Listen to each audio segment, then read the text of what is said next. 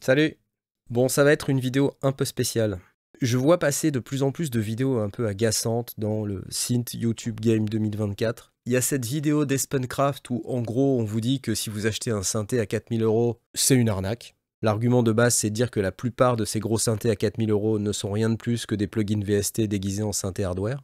En citant le Moog Muse, l'OBX8 d'Oberheim et le Third Wave de Groove Synthesis ça me fait beaucoup rire et en même temps j'ai envie de pleurer. Voilà, alors en fait les synthés ont des interfaces numériques, donc en fait les trucs numériques ça vaut pas cher, donc il n'y a pas de raison de les payer 4000 euros.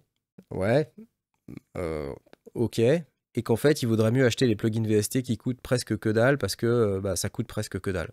Bon, à la limite ça, comparer un plugin VST avec un synthé hardware, c'est probablement le truc le plus con qu'on puisse faire. déjà des synthés numériques, il y en avait avant les plugins VST, hein, et on n'en faisait pas tout un plat. Ils ont leur propre son, et puis voilà, c'est comme ça, ça marche. Enfin, faut arrêter de se prendre la tête aussi. Hein. Il y a une filiation qui s'est opérée entre les synthés hardware et les plugins VST. Les seconds descendent des premiers, et pas l'inverse. On oublie souvent que c'est dans ce sens-là, en fait, que les plugins VST existent parce que les synthétiseurs ont existé. C'est pas l'inverse. Hein. Et donc, c'est pas grave de continuer à faire des synthés qui sonnent comme des plugins VST, puisque à la base, le plugin VST est déjà prévu pour sonner comme un synthé. Donc bon, enfin bon, là, on se prend vraiment la tête pour pas grand-chose. Hein. Il y a des tonnes de plugins VST qui sonnent super bien et, c'est parfaitement ok de les utiliser. À côté de ça, il y a des tonnes de synthés qui sonnent super bien mais qui offrent aussi une expérience de jeu qui est particulière, ce qu'on appelle le workflow. En vrai, c'est ça qu'on achète quand on achète un synthé. Parce qu'au-delà du son, ce qu'on achète, c'est aussi l'objet et le workflow qu'on nous propose pour l'utiliser.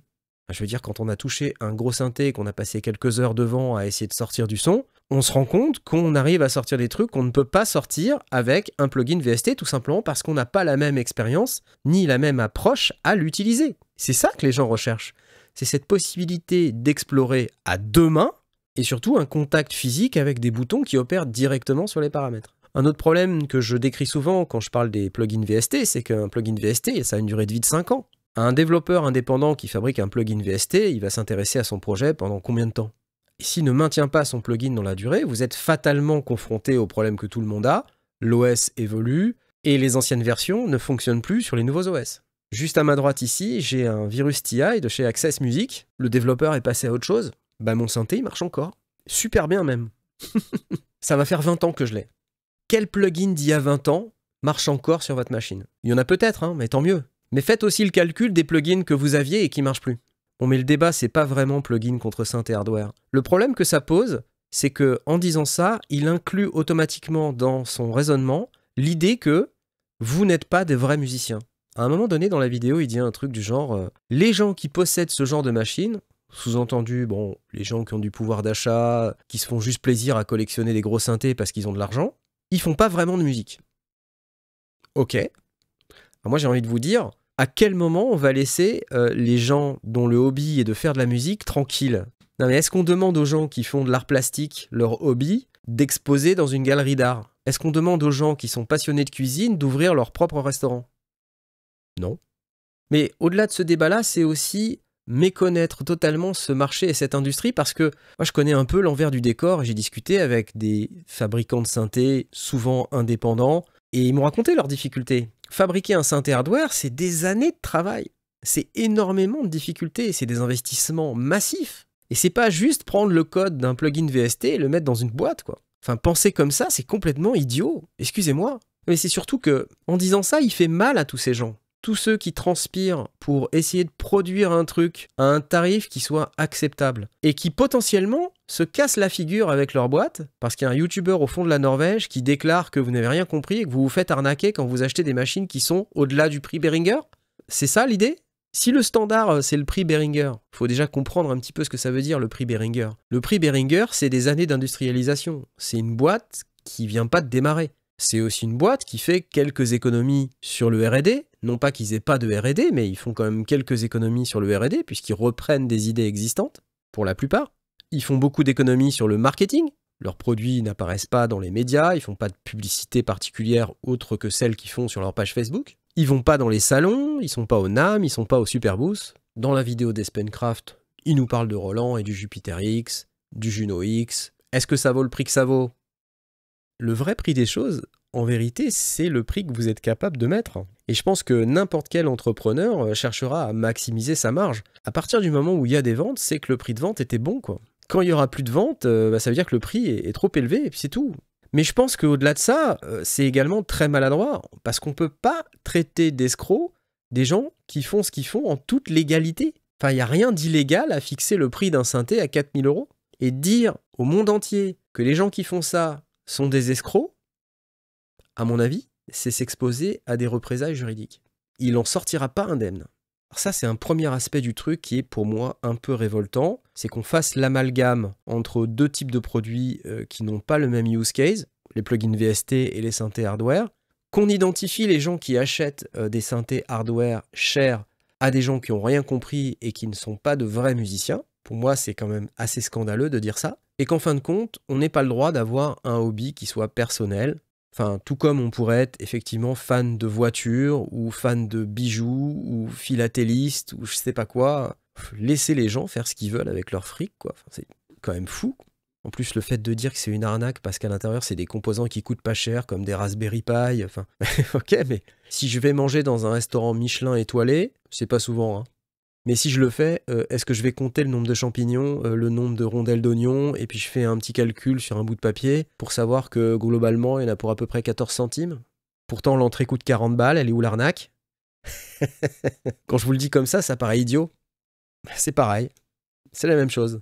Manifestement, il semble avoir une mauvaise expérience avec euh, les gens de chez Sequential, parce qu'ils tirent à balles réelles. Et les gens de chez Groove Synthesis, il faut savoir qu'ils ont aussi travaillé pour Sequential pas mal. Donc à mon avis, il y a il y a un petit sujet là derrière. Hmm. Bref, deuxième vidéo qui m'agace un peu et qui dit un truc similaire, c'est euh, une vidéo de, Florian Pils, de Audio Pils. Vous connaissez ces vidéos, c'est lui qui fait euh, Bad Gear. Et il dit euh, Eurorack sucks. Parce que soi-disant, les gens qui achètent des modules Eurorack, bah c'est pareil, c'est pas des vrais musiciens, parce que plutôt que d'acheter un hydrasynth, on préfère, en tant que modulariste, mettre cette somme dans des modules Eurorack, et donc pour cette somme-là, on a quasiment que dalle, évidemment, dans un environnement modulaire mais c'est aussi faire passer l'idée que euh, c'est du snobisme, quoi. On n'a pas le droit d'avoir ce hobby non plus. Hein, c'est-à-dire que il y a cette même idée qu'on n'est pas un vrai musicien quand on fait ça, parce que on va mettre 15 000 fois plus de temps que n'importe qui d'autre à fabriquer un morceau de musique. Et franchement, ça m'énerve. Je me sens pas particulièrement visé par ça, parce que moi j'ai plein de musiques faites en live avec mon système Eurorack, musique que personnellement je trouve vachement bien. Donc pour moi, c'est vraiment un ramassis de conneries. Vraiment. Mais surtout, ce que je voulais vous dire à vous, que vous soyez d'un côté ou de l'autre du débat. Déjà, premièrement, à vous qui êtes la cible de ces critiques, vous qui potentiellement achetez un synthé très cher et qui l'utilisez peut-être un quart d'heure par jour ou un quart d'heure par semaine parce que vous avez un boulot ou vous avez des choses à faire. Puis bah voilà, vous n'avez pas nécessairement comme objectif de sortir un EP, une musique ou quelque chose. Et c'est pas grave quoi. C'est pas grave éclatez-vous, faites du synthé le week-end si vous avez envie de faire du synthé le week-end sur un synthé à 10 000 balles. C'est pas grave, faites-le. C'est parfaitement autorisé. Je connais bien ce problème-là, enfin, j'ai été dedans pendant des années. j'ai eu un boulot très prenant. Et avant de devenir euh, youtubeur à plein temps, euh, c'était très compliqué pour moi de passer beaucoup de temps sur mon matériel. Depuis que je m'occupe de cette chaîne YouTube à temps plein, j'ai eu l'occasion d'être vraiment très en contact avec mon matos et de faire encore plus de musique, c'est vrai, et c'est vrai qu'à l'époque où j'achetais beaucoup de matériel, je produisais pas grand chose. Mais pour autant, je m'amusais quand même et c'était cool. Et puis qui sait, bah, vous avez peut-être quand même suffisamment de temps pour produire quelque chose qui va vous paraître satisfaisant. Et si c'est ça, et eh bah, c'est très bien. Et personne n'a rien à dire à propos de ça. Et je veux m'adresser aussi à tous ceux et toutes celles qui me laissent des messages dans les commentaires YouTube en me disant Ouais, mais ça, c'est pas de la vraie musique. On peut rien faire avec ça, c'est un truc d'adolescent. C'est le genre de truc, ça pop à intervalles réguliers dans les commentaires. Euh, il y a même cette discussion parfois sur mon Discord. Non, quoi. D'abord, il y a cette idée qu'il y a une vraie musique et une fausse musique. C'est quoi la musique en fait? Et la vraie musique Est-ce que le train qui passe à côté de chez moi, c'est de la musique? Parce que c'est rythmique en fait quand il passe sur les rails. Est-ce que ma machine à laver fait de la musique? Est-ce que si je la sample et que je la mets dans un de mes tracks, j'ai fait de la musique ou pas? Est-ce que c'est de la vraie musique? Est-ce que la personne qui s'amuse avec son modulaire Eurorack à faire du sound design qu'il aura organisé pour pouvoir faire un morceau de 5 minutes, est-ce que c'est de la musique? Est-ce que Pierre Schaeffer faisait de la musique? Ça me rappelle ce passage du film Le cercle des poètes disparus où on essaie de mesurer la poésie sur euh, un graphique. Ça marche pas. Il y a derrière ça cette idée que bah il y a ceux qui ont reçu une éducation musicale et il y a les autres. Et quand on a reçu une éducation musicale, alors on est forcément euh, meilleur, alors on fait forcément de la meilleure musique. Le monde est truffé d'exemples qui vous démontreront que c'est complètement faux. Si la compétence technique avait le moindre rapport avec le talent et le succès d'un musicien ou d'une musicienne, il y aurait tellement de gens avec plus de succès. On peut connaître par cœur la théorie musicale et produire une musique euh, qui plaît à personne. Est-ce que c'est de la vraie musique ou de la fausse musique du coup? Est-ce qu'un adolescent qui plaque trois accords sur sa groovebox et qui fait un beat qui déchire, il fait de la vraie musique? Parce que ces trois accords-là ne sont pas assez nobles C'est ça? Bref, tout ça, c'est un petit peu agaçant. J'avais juste envie de faire cette vidéo pour m'exprimer sur ce sujet, rappeler qu'il faut avoir un petit peu d'ouverture d'esprit, parce que n'importe quel instrument de musique peut être utilisé à des fins créatives. Quel que soit son prix, ce qui compte, c'est la créativité. C'est ce que vous allez en faire. Et même avant ça, ce qui compte, c'est quel niveau de fun vous allez avoir avec ces instruments. Et ce qu'en pense le monde entier, les vrais musiciens, on s'en contrefout. Mais alors? D'une force. Restez chez vous, les vrais musiciens. Laissez les faux musiciens s'éclater, quoi. Ok? Allez, salut.